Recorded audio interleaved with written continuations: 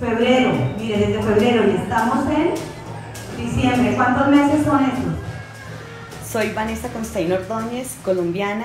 Soy la gerente de la Unidad de Empresa Privada e Innovación Social en Colombia. En los proyectos de desarrollo con enfoque multidimensional es fundamental generar alianzas con las autoridades locales, nacionales, la comunidad y el sector privado. Alianzas en las cuales cada uno de estos actores participe y aporte diferentes tipos de recursos de tal forma que se genere corresponsabilidad en los procesos de desarrollo. Mi principal aprendizaje en OIM ha sido trabajar con un enfoque diferencial directamente con las comunidades urbanas y rurales, niños, jóvenes, adultos, afrocolombianos, indígenas.